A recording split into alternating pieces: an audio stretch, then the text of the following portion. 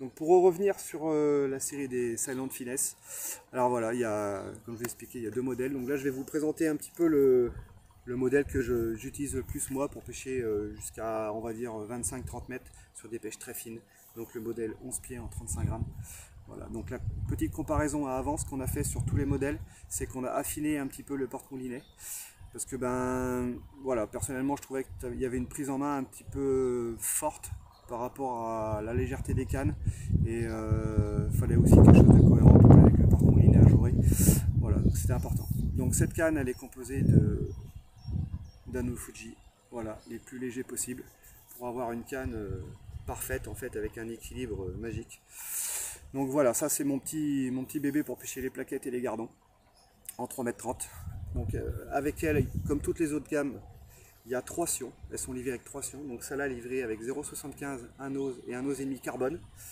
Donc la petite particularité qu'on a changé par rapport aux sions d'avant, en fait, c'est qu'on a gardé, on va dire, le même nombre d'anneaux. Par contre, on a allongé le sion à 58 cm.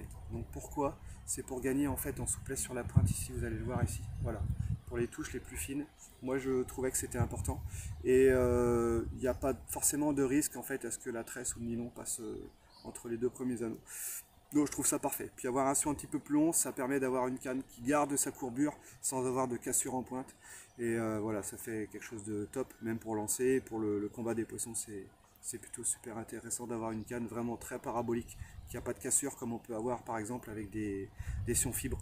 Aujourd'hui personnellement un sion fibre, j'aime pas ça du tout. Je sais que la série d'avant était livrée avec des sions fibres à nose. Mais voilà, ça fait un, battement comme ça au lancer, on perd en distance. Après, euh, voilà, c'est pas.